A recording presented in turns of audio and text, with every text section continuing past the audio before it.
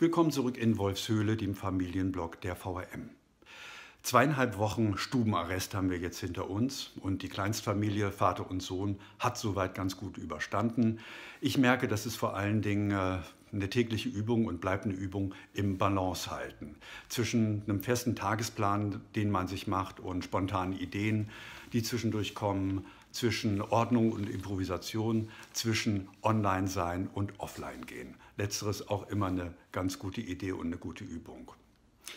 Die Ferienzeit, die jetzt kommt, wird sicherlich einiges zusätzlich entspannen, vor allen Dingen in den Familien, in denen sich die Eltern auch ein paar Tage freinehmen können. Bei uns ist das zum Glück der Fall. Da freue ich mich auch schon ziemlich drauf. Aber bei aller Freude am familiären Zusammensein sollten wir die Leute in der Nachbarschaft nicht vergessen. Also nicht nur die Leute, die vielleicht eure Hilfe brauchen könnten, ähm, ältere Menschen und andere, sondern auch die Menschen in den Läden um euch drum, die seit Jahren äh, gute Dienste für uns leisten. Und nicht alle haben komplett zu. Viele haben ziemlich kreative Angebote, wie ihr vielleicht inzwischen mitbekommen habt.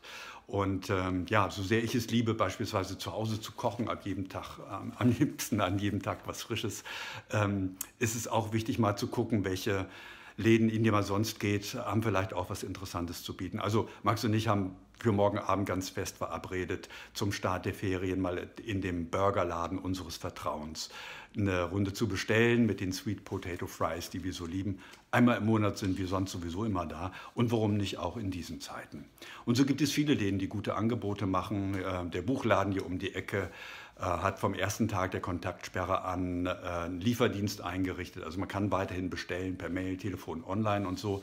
Kann die Bücher auch abholen, das ist auch ganz clever geregelt, aber die bringen die auch zur Not frei Haus nach Hause und das ist ein ziemlich cooles Angebot und funktioniert prima. Ja, da gibt es vieles, was wir vielleicht auch nicht unbedingt beim globalen Versandhandel bestellen müssen, sondern äh, wo wir mal gucken können, ist es auch weiterhin im Laden hier um die Ecke zu haben. Jo, und äh, das war's äh, für diesen Blog. Das war's aus Wolfshöhle. Ab nächster Woche übernimmt die Kollegin Kerstin Petri mit einem neuen Blog hier auf Echo Online und auf der VRM-Website unter dem Motto Kruschel und die Monstermammis. Das klingt auch ziemlich spannend und nach einer anderen Art von Familie. Ich werde es mir auf jeden Fall anschauen. Und ähm, ja, ansonsten erspare ich mir die übliche Grußformel, die jetzt alle schon auswendig können und sagt nur, kommt gut durch die nächste Zeit.